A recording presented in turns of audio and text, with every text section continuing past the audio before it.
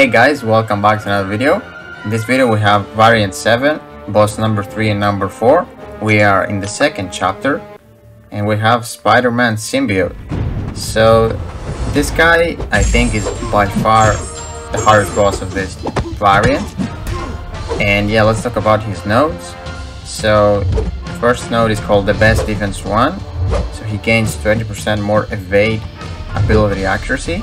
And then if he evades, he gains 10% of a bar of power.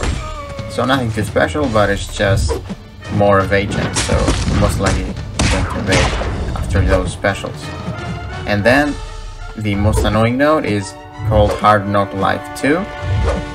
So every time we parry, we gain a passive disorient. So it's really bad because it's passive, we can't even heal from the willpower from it and it decreases our ability accuracy and block proficiency by 10%.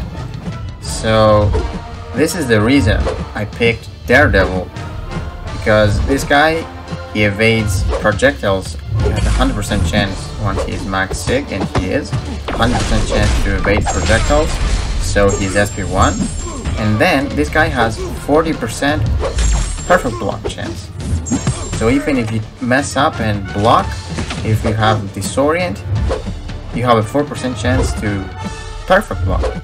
So this is great. He's, he's a great counter. And then the next node is backboard brawler, so it's nothing too special. If the defender is pinned against the wall, get the fury and an armor every three every three seconds. It increases his attack by 10%. So nothing too crazy right there. In this fight, we don't push him to his corner or doesn't push us in our corner because we are like waiting out that evade and that disorient, so we don't have any problem with that. And then it, the next node is called Rising Sun, so every time we hit the opponent, we gain a Fury, and if we get 10 Furies or more, we gain we get Degent by a little bit, so it is 12% of the defender's attack over 4 seconds. But if you use a heavy attack, you remove all of those furies. So you lose the attack, but you don't get degen. So what you want to do is like get 8 or 9, and then use a heavy attack to like remove all of them. And those increase your attack by 2.5. So if you stack like 8 of those, it's a really good time. And yeah, next note is called Shifting Immunity, Bleed and Poison. Every 10 seconds he alternates between Poison and Bleed Immunity. Nothing special. And then the Skill Rat, so we gain 125% more attack if we are using a Skill Champion. So that helps a lot. It's, it's really good. And yeah, in my opinion, that Daredevil is one of the best counters here because you need good block proficiency. And yeah this guy evade projectiles as well. 100% chance. It's just a 4 star it's crazy.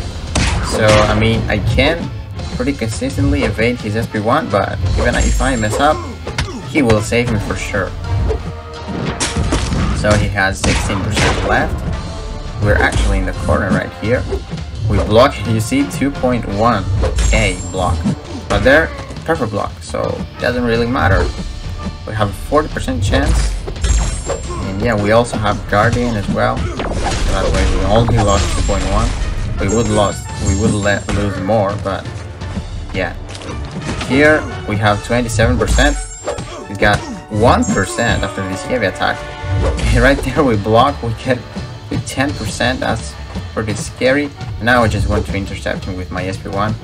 And he will go down. There we go. And yeah, his stuns as well, Daredevil's stun, is pretty nice as well. Gain that critical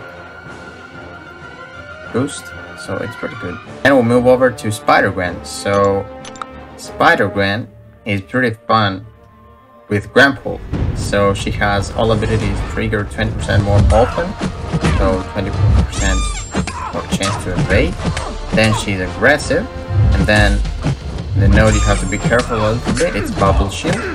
Each time we block hit, reduces our block efficiency by 4%, and after 10 stacks, the next stack is unblockable, so she becomes unblockable for a little bit.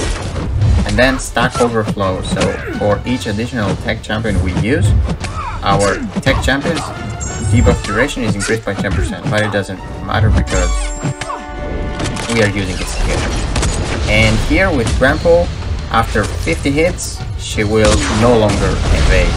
So every hit is 2% ability accuracy reduction. And after 50, she has 100%. And right there, we powered after that SP3, went in. Now we have 40 hits, so 80% ability accuracy reduction. And the stun is actually pretty sweet as well.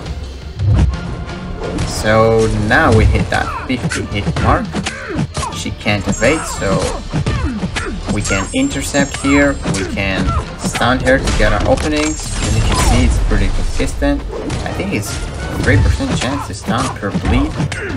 Maybe it's more. But yeah, we don't need to block because we have five of those bubble shield stacks. Reduces our block efficiency by, how much is it, 20%.